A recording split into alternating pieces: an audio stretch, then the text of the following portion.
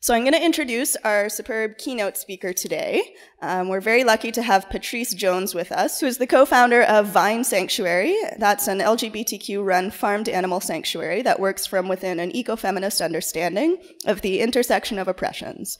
Her activist work dates back to the 1970s and includes anti-racist education, tenant organizing, and direct action against AIDS, as well as work within the feminist, peace, and LGBTQ liberation movements. She's taught college and university courses on the praxis of social change, and her contributions to movement thinking appear in numerous anthologies, as well as her book Aftershock, which is superb, and you should all check it out. Hi. Hi. So I'm shy, um, and um, every once in a while it really hits me. Uh, and they had me all mic'd up so I could wander around like I like to do. And then they told me it doesn't work and I can't think about that big screen up there. Um, so I think I'll start here, then I'll start walking around and really hope not to trip over the mic. Um, I am here. Um, I want to just a big thanks. Can everybody just applaud the organizers?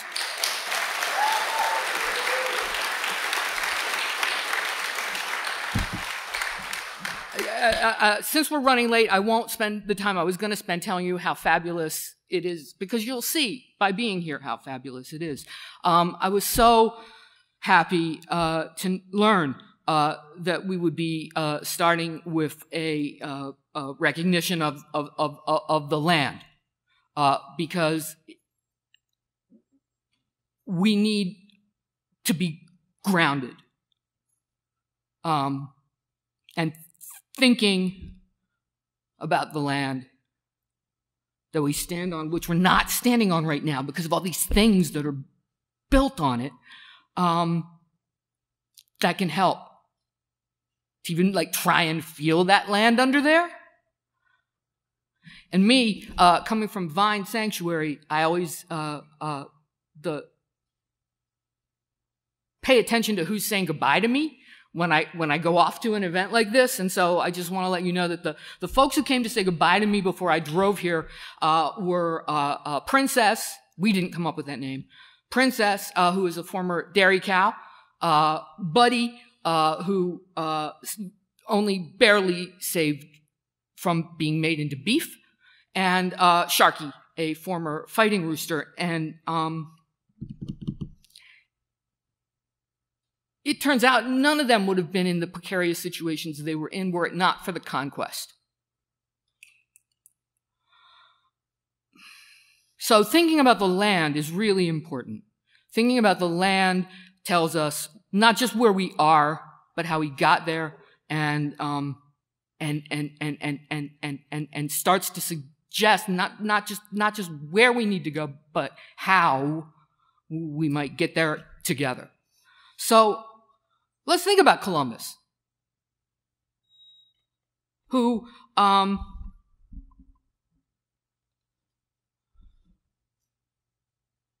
didn't just bring what would become racism, but also sexism and homophobia. The same conquistadors who were sexually violating Native women, and if you don't know that history, read Conquest by Andrea Smith. They were also levying the death penalty on homosexuals and gender non-normative people like me. They not only brought smallpox, they brought gold fever, thereby paving the way for capitalism and the commodification of everything. And they brought cows, lots and lots and lots of cows and pigs and chickens. Ecologist Alfred Crosby says that if, if, if, if, if space aliens had been watching the planet during the era of the conquest of the Americas, they would think, and this is a quote from him, that the object of the game being played was to remove the native people and replace them with farm animals. And of course, all of those captive cows. Well, of course, this ushers in, and I'll talk about this later, a whole new way of thinking about our relationship to animals. Um, but, but, but all of those captive cows are now a leading source of climate change. So, this is what we mean when we use the word intersectionality. Not that it's all connected in some sort of vague way, but that it's all inextricably linked.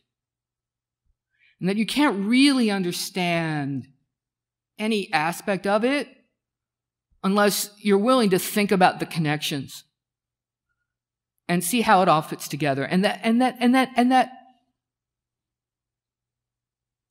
we can't, we can't hope to solve any, any one problem without reference to the others, without kicking over the whole system.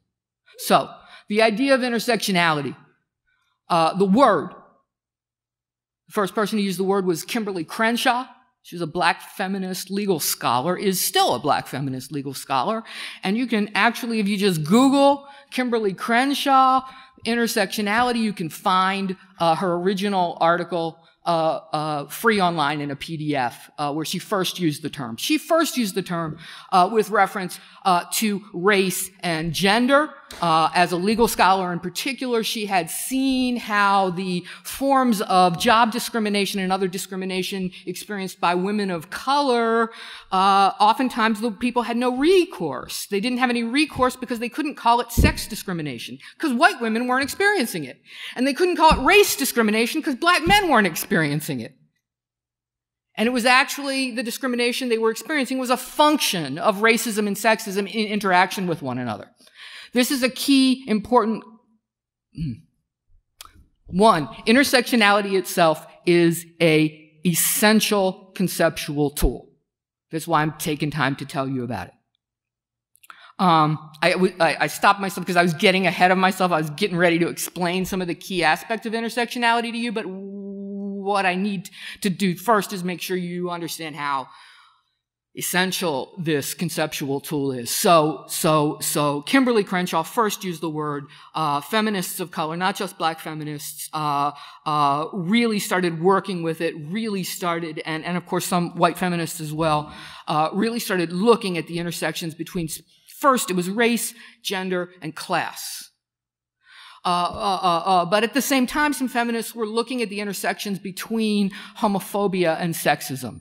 And we're starting to uh, see some important things about that. More recently, uh, then we started to think about the intersections uh, uh, uh, with people, disability, ethnicity, list, all of them.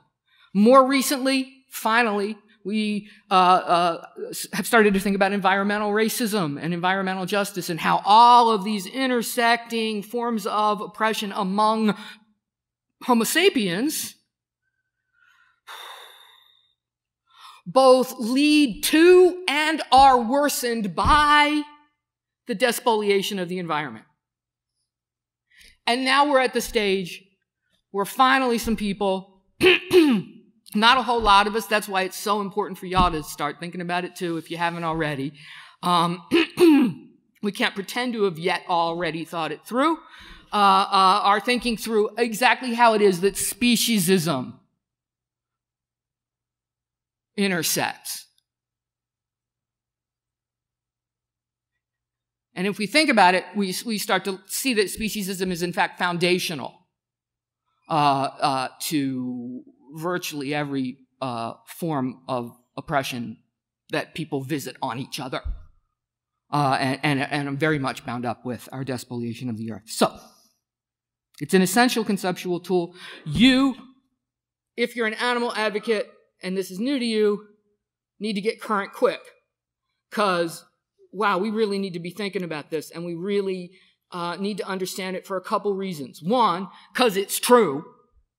Um, and, and, and, and, and because it's true, what that means is that we will not be able to accurately diagnose the problem that we are trying to solve unless we understand. You see what I'm saying? Uh, uh, uh, so, so speciesism is inextricably bound up with these other so-called other forms of oppression.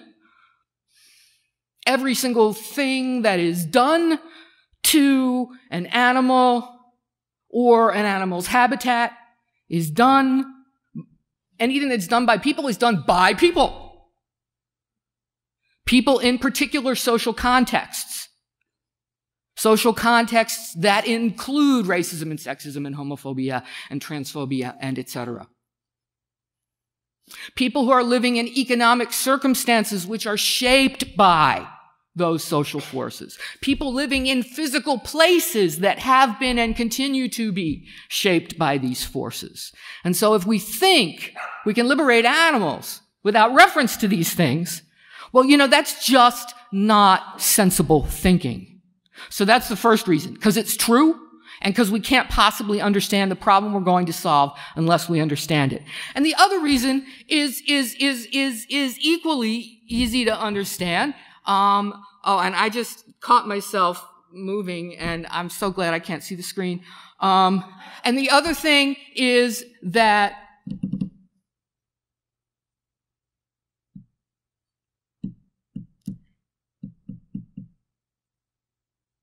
to liberate animals, think of all the ways that animals are oppressed by people. Think of all of the local and regional economies that are founded upon the exploitation of animals. Think about the ways that products of animals are incorporated into the global economy.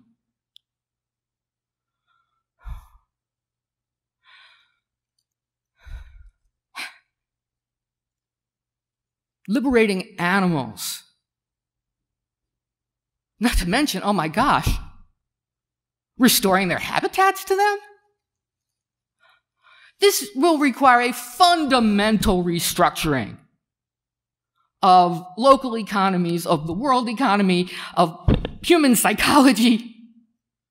Ain't no way the tiny little group of animal liberation activists, and not particularly diverse group of animal liberation activists, can possibly affect that kind of worldwide change. The absolutely only way we're going to do it is if we are in sincere solidarity with social and environmental justice movements, and in the course of that, lead people in social and environmental justice movements to understand that speciesism is their problem too, to make the liberation of animals, to understand that the liberation of animals must be part of their own agenda, because speciesism is in, uh, some, the person who was, she called herself, she said she was rambling. Sorry, don't know your name. Sarah, she was saying something about colonialism being in everything. Yes, everywhere in every well, speciesism is in everything. And and and and and and and and and and and if then the environmental justice movement comes to understand that, then ending speciesism becomes part of that movement too. Uh, we need a unified worldwide movement. Yeah. Okay, so, and we can't do that without the basic ABC conceptual tool of intersectionality. So, what do you need to understand about intersectionality? It's not just, uh, like, oh, oh uh, addition. Racism plus sexism equals worse. Um, uh, uh, the term that they used to use for that was double jeopardy. Uh, but turns out it's not that easy. You can't untangle. Um, uh, you can't untangle the different forms of oppression from each other. So like, so like, so like, if you add up like four plus five, huh, and you put them together, you can still like pull the five and the four back away from each other, right? And you can see, oh well, this was the four and this was the five, right? What's four times five? Somebody. 20, right? Yeah, my math is really bad. Um, so, so, so, so, so, and, and if you've got that 20, Imagine that's 20. Imagine 4 times 5, and now we've got 20. Okay, which ones of those is the 4 and which is the 5? You can't. because the 20 is a function of 4 and 5 in interaction with one another. That's how different forms of oppression interact with each other. Uh, uh, they they intermingle like catalysts with each other, and the the new thing that comes up is not something that you can then pull the different pieces apart from. Does that make sense? So that's a, that's a key idea. Uh, another key idea is that the different forms of oppression support one another. They prop one another up. We can see this most clearly with um, homophobia and, and, and, and sexism. Do you need to be gay to be gay bashed? No? Do you actually have to be trans to be subjected to transphobic bullying? What do you have to do? Exist in what way? Well, I can't hear you. But I think the answer to the question is violate gender norms. I think that all that you have to do to be uh, called queer in high school, whether or not you actually want to have relations with members of your same sex, is is violate gender norms. If you're if you're male, don't like sports and do like show tunes. Um, if you're uh, uh, female, then uh, do like sports and don't want a boyfriend because uh, you're more interested in math right now. And uh, you could be called any one of the words that I'm not going to trigger people by shouting out. Okay? Uh, uh, if you, and, and, and, and, and, and, and you could be gay bashed to death. You could be trans bashed to death just for walking down the street wearing the wrong thing. It doesn't matter who, who you actually want to sleep with. It doesn't matter who you, what your self-identity is in that matter. All that matters is that you're walking down the street violating gender norms. Yes? Okay. And so then we can see that the function of homophobia and the function of transphobia is to prop up that gender system. That man on top gender system. And they're not, and so, and so, and so we can see that, um, and it took feminists a long time to understand, hey, you know what? You're not going to solve sexism unless you're also solving homophobia. And it took a long time. Uh, and actually, a number of people in the LGBTQ movement still don't quite understand. Many feminists don't understand. A lot of people still don't understand. You're not going to solve one without solving the other. We just can't. We'll never make it. Okay. So,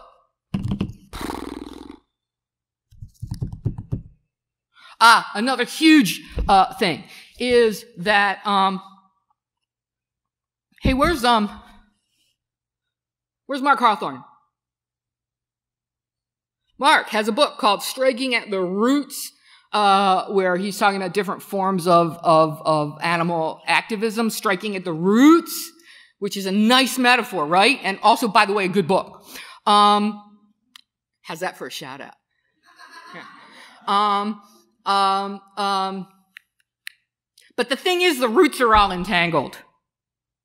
The roots are all entangled. And so another nice metaphor is kicking out the joints. The idea is if you want to bust up a piece of furniture, I wish I had one, a wooden chair here, right?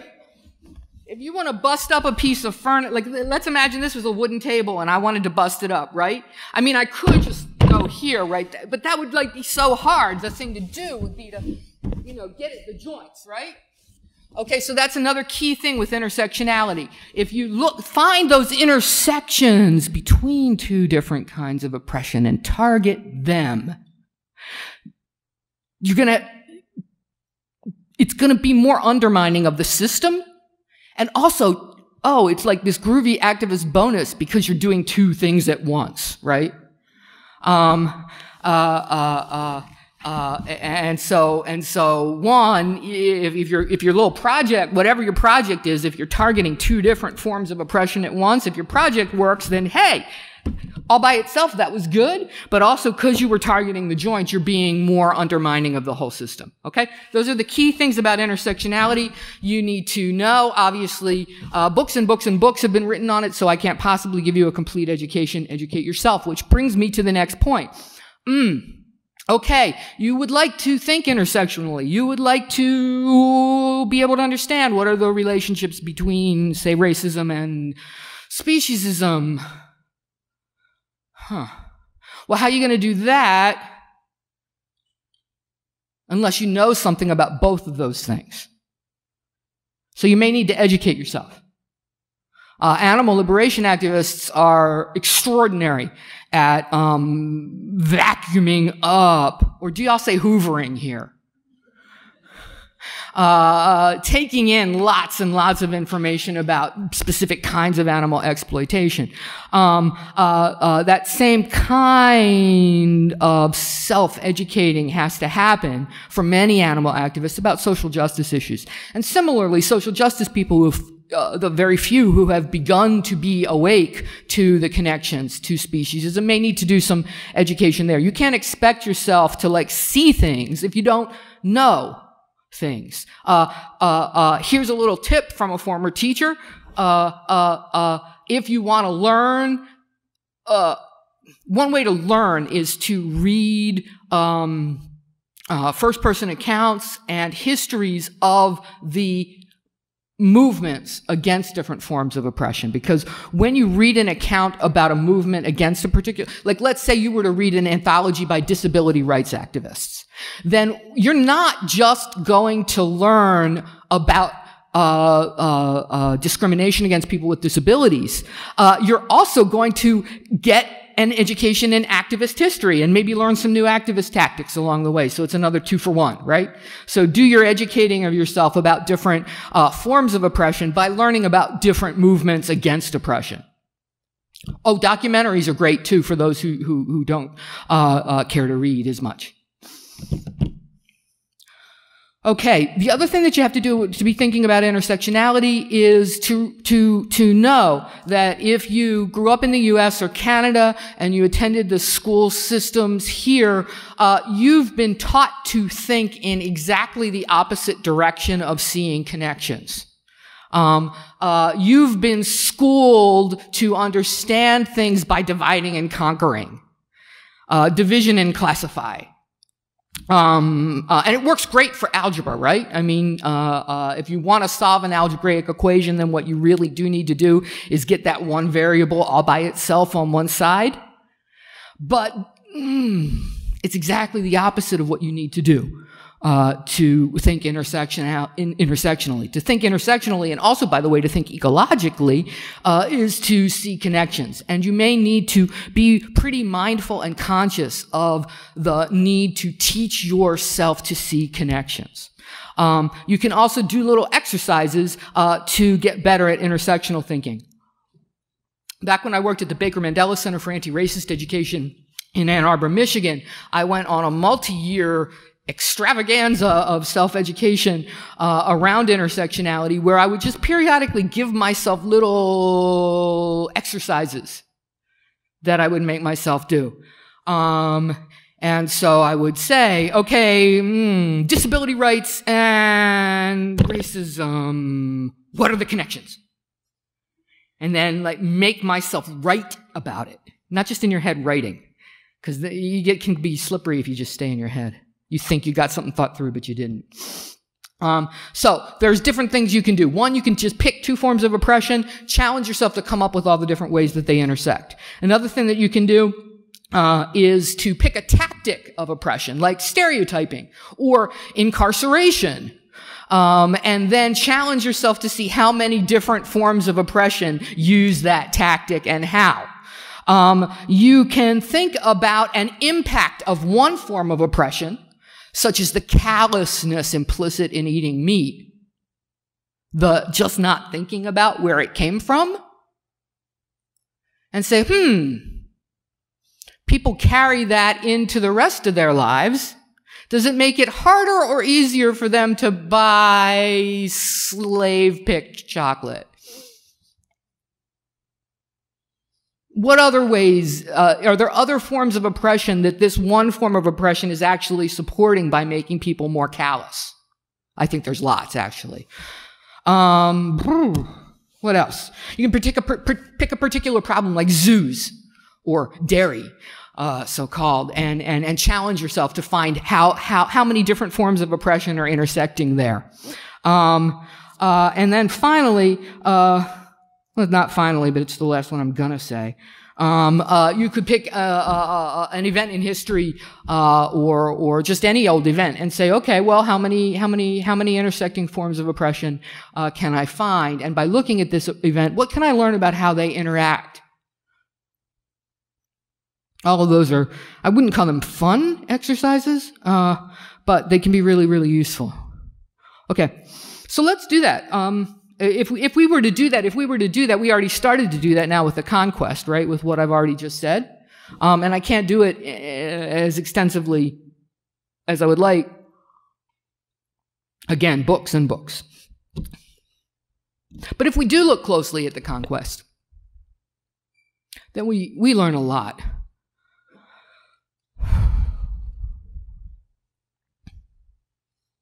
And we can see, we can see actually in the conquest is, is a really good example of another really important conceptual tool that I want to introduce you to. Um, so the, the, the, the, the, first the conquistadors, and then later the Brits and the French. Uh, they brought they brought not just their bodies well, they brought cows, we said that, and they brought their own bodies, and in their own bodies were their brains, right? And and and in their brains were um, some ideas, and uh, uh, uh, and those ideas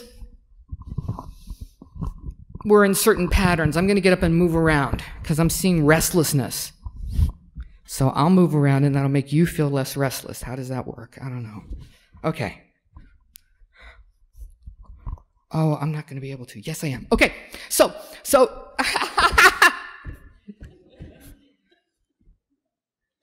oh my God. Okay. It would have been better if I fell completely right, because then it would have been a real pratfall. Okay. So, so, so, so, so, in their brains, uh, there were ideas, and their ideas, um, ecofeminist scholars would say, were patterned according to uh, a logic of domination. Like they had a way of seeing the world, right? And we're going to talk about the, the, this way of seeing the world. And their way of seeing the world is what some ecofeminist scholars call a logic of domination. Okay? Um, the logic of domination, which we had, if we had time, I could explain to you the relevant European history that led people to be thinking in that way when they got here. But we don't have time for that. So, so the logic of domination divides the world, first of all, into dualisms, into binary dualisms. Hmm? Uh, male, female, human, animal, nature, culture, oh no, culture, nature, There's more. Oh, oh, oh, a big one is um, reason, emotion, mind, body. Yeah? Okay. And the logic of domination says, okay, that the whole world is, we can see, it always appears in these twos. And the twos are separate and they're opposite each other. They're separate and opposite.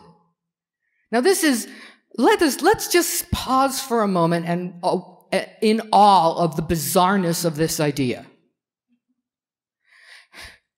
How in the world could the male and female of a species, and we're not even going to, get this is, doesn't even get into leaving out intersex people and that it's actually a continuum. How in the world could the male and, and female of a single species be opposite each other?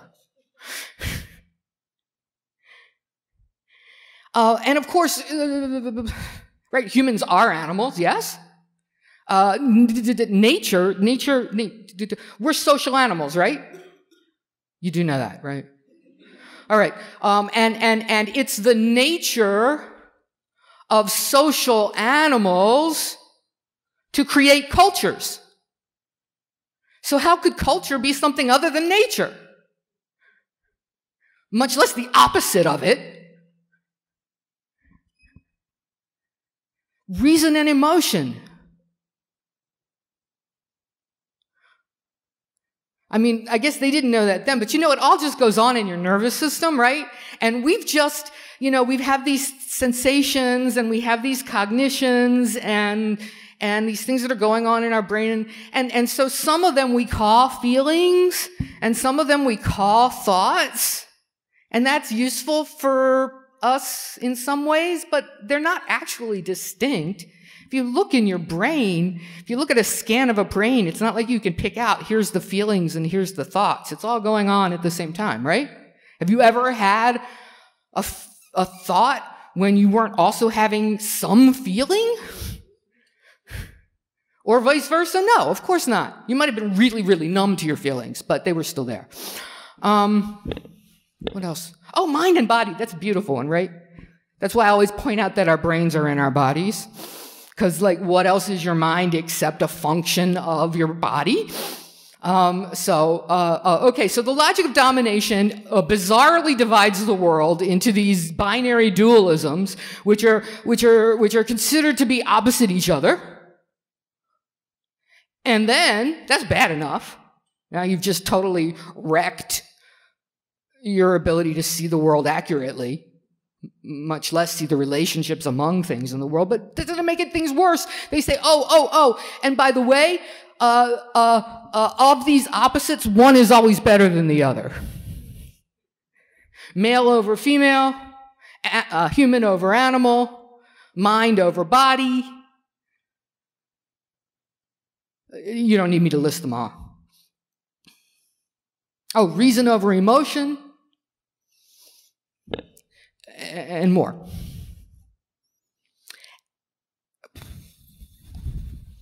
And the logic of domination assigns, it does make relationships. Most of the time, the logic of domination is doing nothing other than destroying relationships.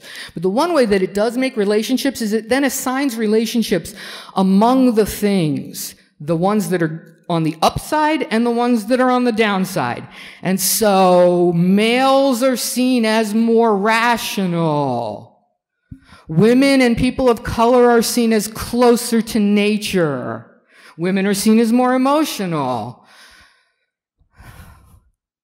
You get the picture, yes? And, um, oh, and if you want to put down some group of people, just call them animal names. Um, and so this teaches us uh, a little bit about how the whole system is maintained. Because again, this is another way of, of thinking about intersectionality, because essentially this is showing us where those joints are, those connections, uh, those assumptions uh, uh between the different terms in the logic of domination. Uh, uh, those are the things that we need to to try and pull apart because they're what's holding the whole system together. Does that make sense? Okay. And, and, and, and, and we can see this. I don't have time, but, you know, you could do it as an exercise. Uh, uh, you can see every element of the logic of domination in what the colonizers uh, did when they came here. Um, because, again, this is not abstract. Yes, these were the ideas that they had in their heads. But those ideas then led to acts, right? To, to, to genocide, uh, to ecocide.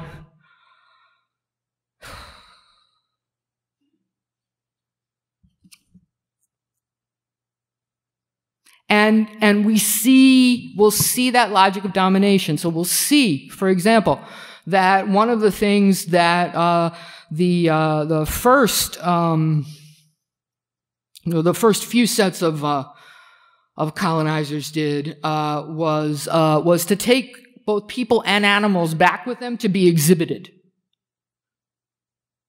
in what would now be called zoos.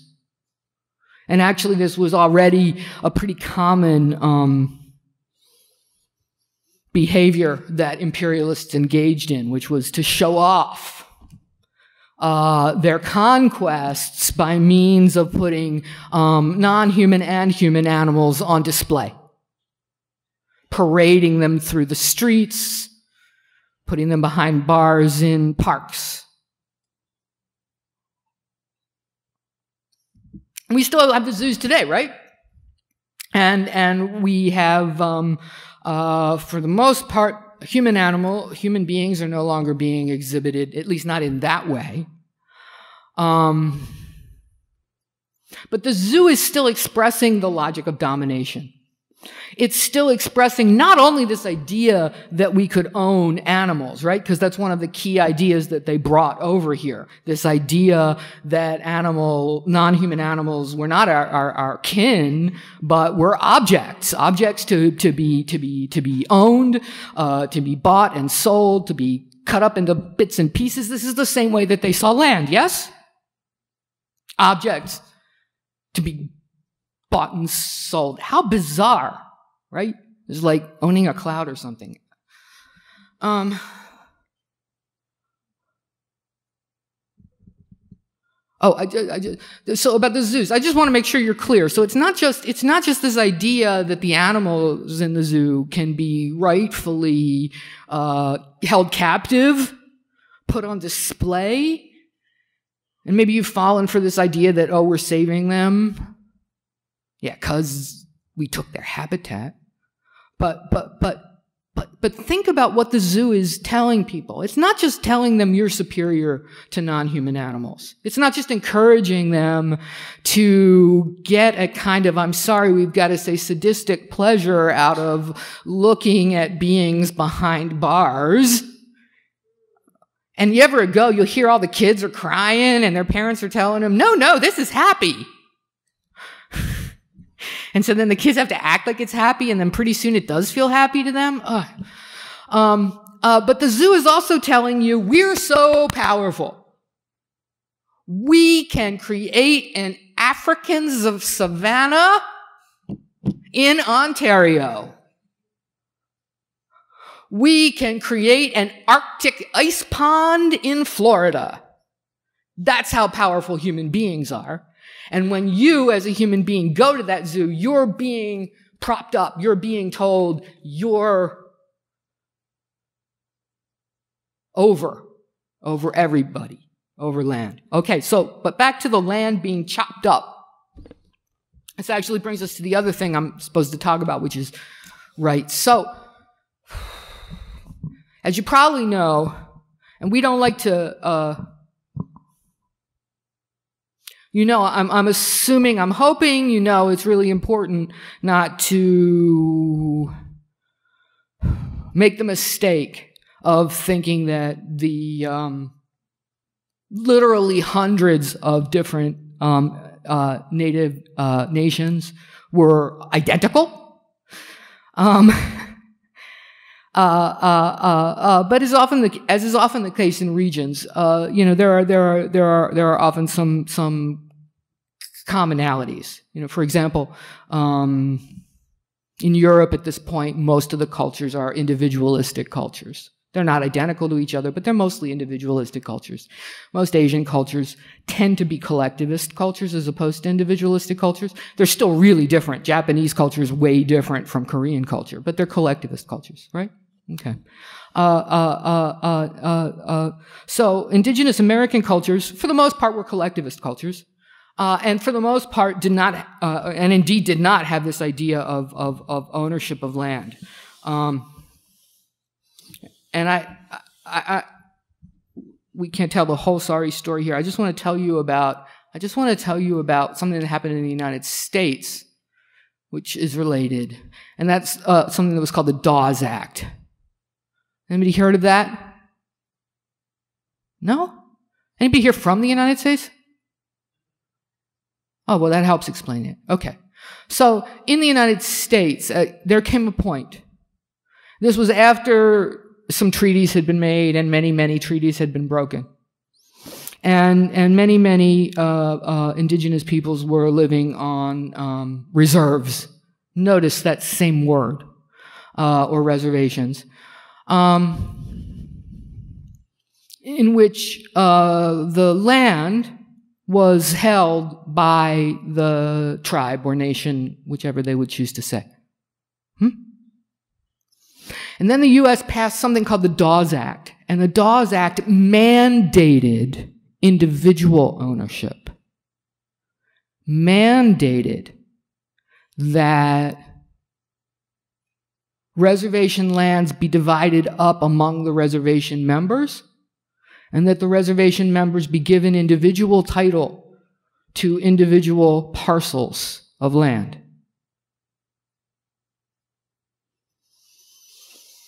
And it went as you would expect, and, and, and, and folks resisted this, but it, it was done. And, and, and the results were what would be expected when you have uh, people who have been pushed not only off of what were their own lands onto these barren, often not home lands, um, and are living in fairly desperate poverty. Not just fairly desperate, very desperate poverty. And that is that one by one by one, individuals started selling. And, you know, once one person sort of oh, makes themselves break with everything their culture has told them because they really feel like they need to do this to survive, then that makes it a little easier for the next one to do it, and the next one to do it, and the next one to do it. And the next thing you know, uh, native lands had been reduced uh, precipitously. Why do I mention this one? I mean, right, I could pick any of, I'm literally 10,000 awful things that were done. Why am I picking this one to tell you about?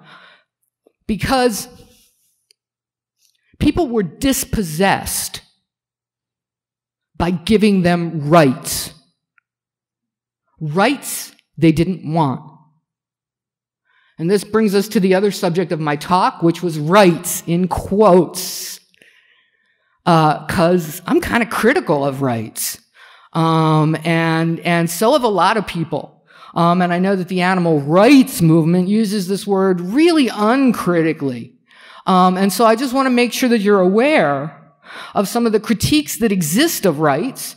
But on the other hand, I'm really intrigued by this idea uh, human rights are animal rights because I actually, the more that I think about it, think that if we start to think about human rights as animal rights, that might actually help to solve some of the problems with the concept rights. So, in the time that I have left, let's talk a little bit about rights.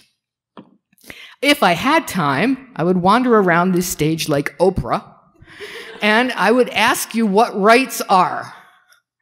And, and, and even though you've been using the word yourself and you might even belong to an organization called the fill in the blank rights group, you'd probably have a really hard time telling me what exactly you mean by rights. Hmm, entitlements? Access? How people, how things I need to protect me from other people?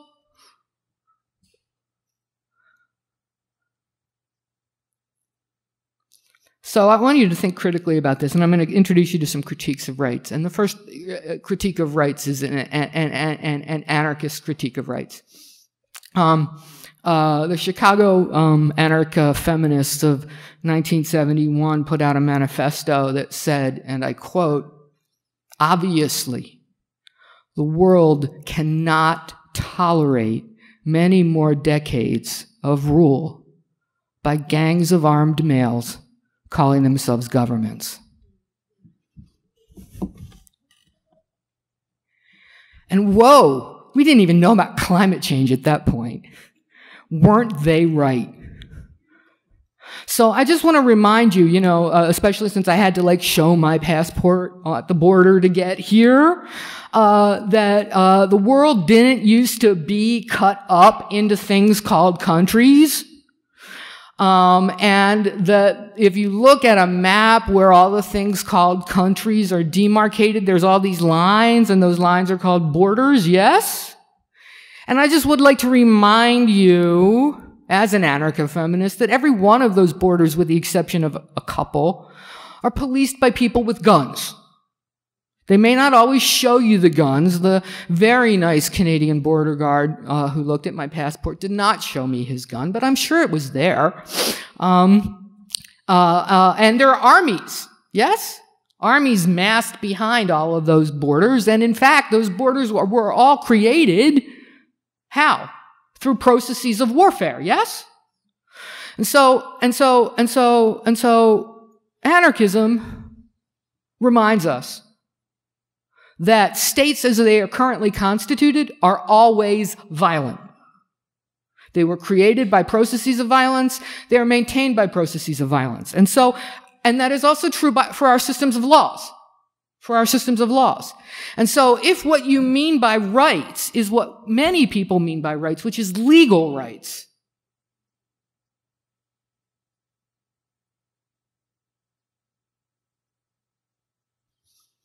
maybe that's a little troubling because then you're talking about enforcement. Enforcement by who? How? Will we be sending people to prison? Will we be using guns to enforce animal rights? What exactly will, what, what, what are we talking about here? So, so that's a troubling, that's one troubling critique of rights. That, that, that, that, that, oh, and, and, and, and, and here in Canada, I know, and in the US as well, if you look at the constitutions, what these laws are mostly about, there's a nod to human rights or civil rights or, or, or civil liberties, whatever you want to call them. But for the most part, laws are about property. Laws are about enforcing property rights. And so we're right back to chopping up the world, chopping up the land into bits and pieces to be bought and sold. And if you're like me, and if, or if you've, if you're following me here, then you understand that chopping the world into bits and pieces to be bought and sold is an inherently problematic process that is deeply linked to the exploitation of animals. So how exactly we're going to solve the exploitation of animals by incorporating them into this particularly violent legal system is not clear to me. So it's just something to think about. There are two different feminist critiques of rights. Uh, uh, one that came sort of out of first world feminism, another that came out of third world feminism. Out of first world feminism, there's just pointing out the the um, not only Eurocentric but androcentric uh, way of thinking about the world. The, the, way that we think about rights within Western democracies is the social contract um, theory of rights. It basically says that, um, um, oh gosh, um, it's a terrible, terrible thing. Uh, to have to live in collectives with other people. Um, human beings are naturally individuals. And, and if we come into contact with one another, it's, it's just so awful uh, that we need to protect ourselves uh, from each other. Um, that's the social contract theory of rights. And I'm serious. You, I, I, I'm belaboring the point a bit, but if you go back and read the philosophies that this comes from, they presume that humans are individuals, notwithstanding the fact that we're all born out of some other person's body um, and are completely dependent on either that person or another one for quite a long time, uh, and that human beings have never lived as individuals. We're not orangs, okay, right? Orangutans, they, they, they, they, the, the, the, males at least do tend to go off and live by themselves. Um, uh, but we're not that kind of animal. We're, we're a social animal and we always have been. Um, and the theory of rights is pretty much based on the opposite of that.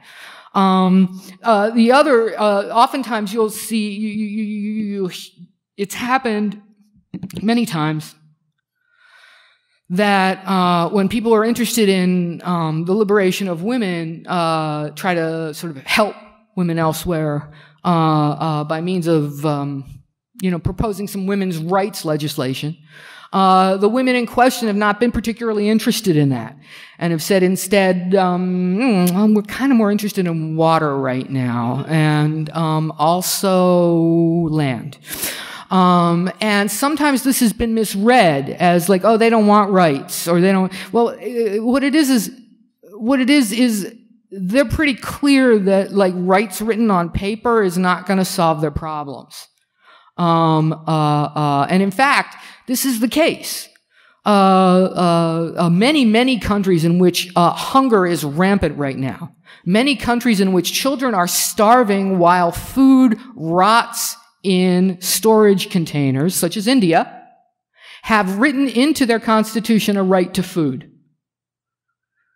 So, so there's the more sort of pragmatic uh, uh, uh, critique that, that that that and all of us here, right? Uh, uh, someone, the person who spoke. Oh, I'm sorry, I'm so bad about the names. Uh, when we were hearing about the triggers and, and how many of us have endured trauma, Sarah. so so so so all of us have the right not to be beaten by our partners. Has that stopped it? all of us have the right, all children have the right not to be uh, sexually violated. That hasn't stopped it. My gosh, slavery is illegal everywhere in the world for the first time in human history. We also have more people enslaved than at any other time in human history. So this suggests to me a practical critique of rights. Um, there's also a post-colonial critique of rights that has to do uh, uh, with um, with uh, this this idea of individual versus collective rights. Um, uh, I'm not so sure. Now we're getting into animal rights. I'm not so sure that fish want individual rights. At least free living fish. I'm thinking they may be more interested in collective rights. What do you think? But our way of thinking about rights, our Eurocentric way of thinking about rights, is all about the rights of the individual, and it's to protect the individual from other individuals and to protect the individual from the collective. So, these are just some critiques of, oh my gosh. And then, right, the individual, oh, no, I'll just leave this one out. I'm fighting with myself in my head while all these people are staring at me. trying to decide whether to say another critique or not. Um, oh, I'll just say that, you know, uh, uh, uh, so when, when they all came over here,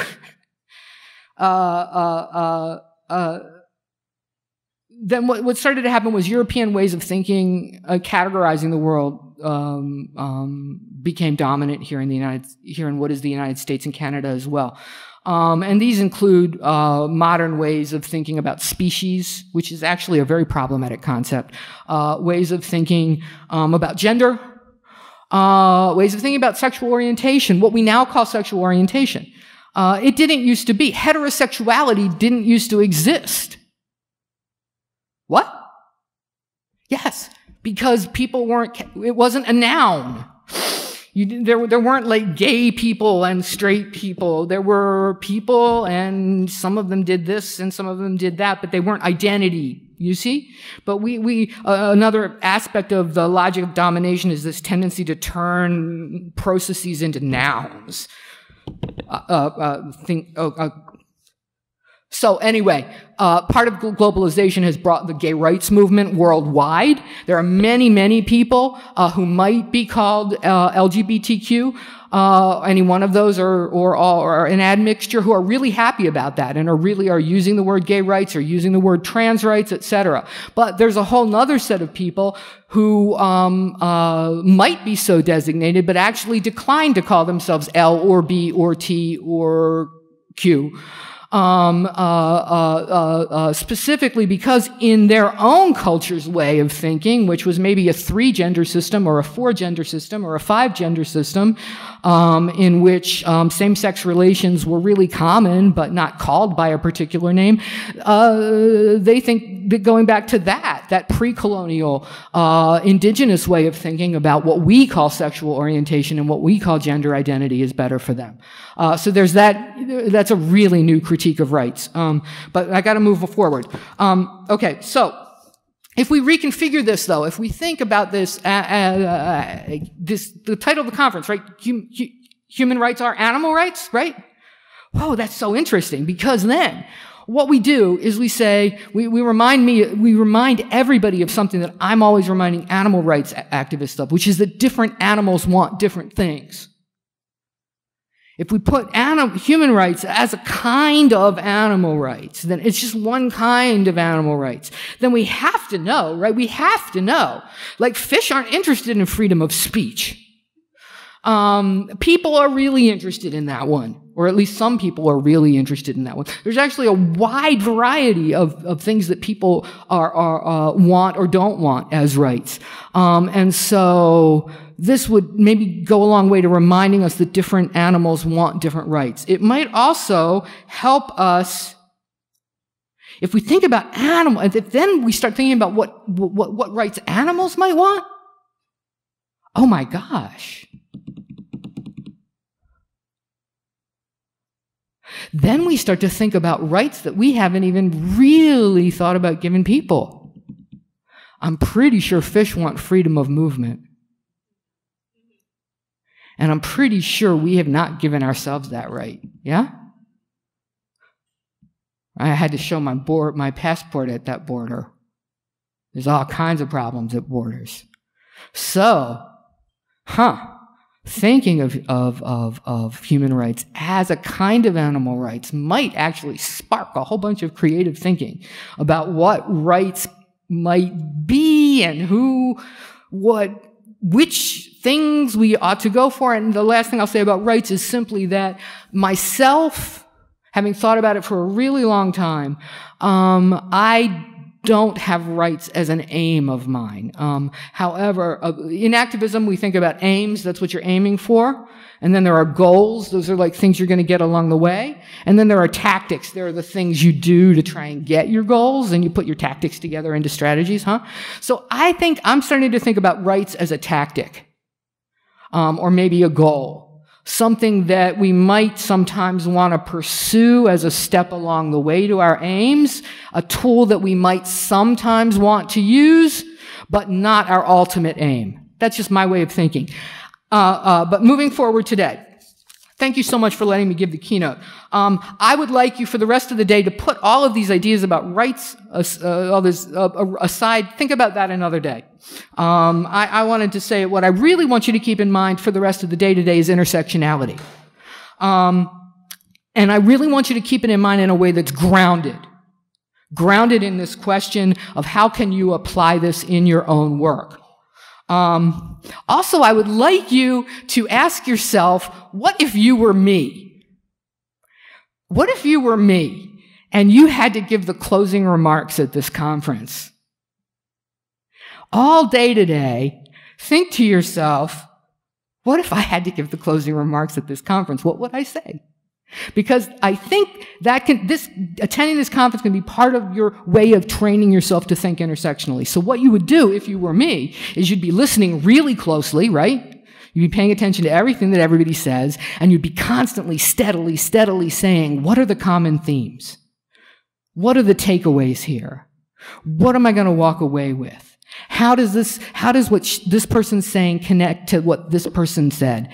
Uh, and this other thing that I know? You'd be constantly steady, steady, steady, steady, making connections as you're listening and also thinking, what's the takeaway? How am I take this home? So that's what I really hope you will do today. Thank you so much for listening to me and uh, have a fabulous day. I'll see you at the end of the day.